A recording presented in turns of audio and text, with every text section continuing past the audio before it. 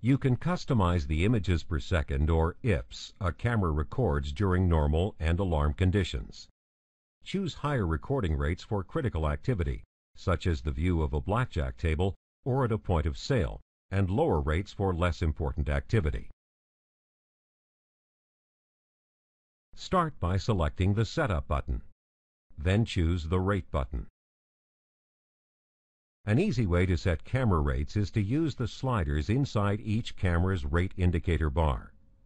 The slider can be split into three parts. You can move the red alarm slider to a higher IPS, allowing you to see more information when an alarm state is triggered. We'll choose 30 IPS.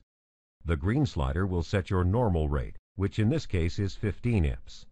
You can set a minimum IPS by moving the blue slider to the left. Minimum settings allow important cameras to maintain higher recording rates when system resources are exceeded in multiple alarm conditions. Remember, if this camera goes into an alarm condition, it will automatically switch to recording at up to 30 IPS, depending on the status of other camera configurations.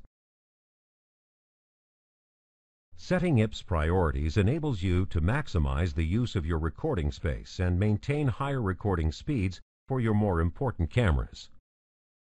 The Intellex LT and DVMS platforms have an additional auto rate mode, which allows Intellex to distribute the system's maximum recording rate across all active cameras in normal and alarm conditions.